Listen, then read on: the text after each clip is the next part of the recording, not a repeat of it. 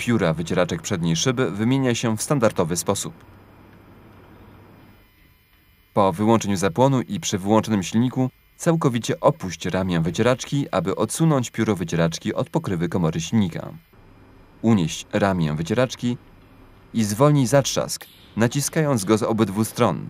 Następnie przesuń pióro wycieraczki wzdłuż ramienia, aby zwolnić zaczep. Aby założyć pióro, przesuń je wzdłuż ramienia do momentu zablokowania zatrzasku.